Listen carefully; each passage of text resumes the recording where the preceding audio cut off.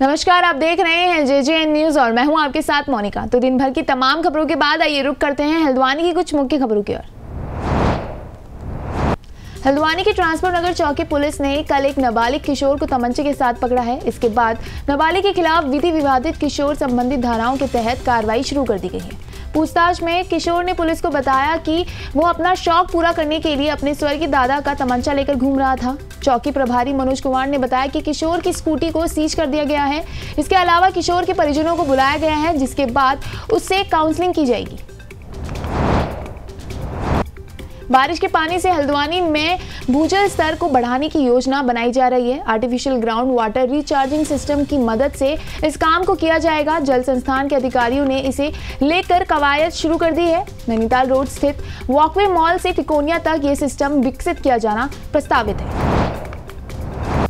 हल्द्वानी के Covid hospital से 31 मार्च को निकाले गए आउटसोर्स कर्मचारियों का आंदोलन अभी भी जारी है। आज भी सभी निकाले गए कर्मचारियों ने बुध पार्क में धरना प्रदर्शन किया। साथ ही मामले में ठोस कार्रवाई न होने पर आंदोलन को तेज करने की चेतावनी भी दी है। आउटसोर्स कर्मचारियों ने कहा कि जब तक उनकी मांगों पर कोई ठोस निर्णय नहीं लिया जाएगा, तब तक उनका आंदोलन ऐसा ही जारी रहेगा।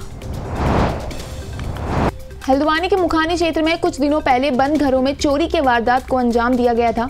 एसपी सिटी हल्द्वानी हरबंस सिंह ने जानकारी देते हुए बताया कि क्षेत्र में हुई चोरी में चोरों ने बंद घरों से जेवरात चोरी करे थे और वो फरार चल रहे थे।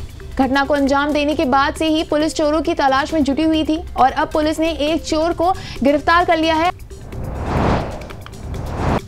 हल्द्वानी में आज़ादी के अमृत महोत्सव कार्यक्रम के तहत स्वतंत्रता संग्राम सेनानी हरिदत्त बहुगुणा की पुण्यतिथि के अवसर पर सेनानियों और वीर नारियों और उनके उत्तराधिकारियों को सम्मानित किया गया। नगर निगम सभागार में आयोजित कार्यक्रम में राज्य भर से सेनानियों और उनके परिजनों की उपस्थिति रही। कुमाऊं आयुक्त दीपक रावत ने वीर सेनानियों और उनके आश्रितों का शॉल और फूल मालाओं से स्वागत किया। तो हल्द्वानी से जुड़ी इन खबरों में अभी के लिए इतना ही। बाकी की तमाम खबरों के लिए आप देखते रहिए जे जे एन न्यूज़। नमस्कार।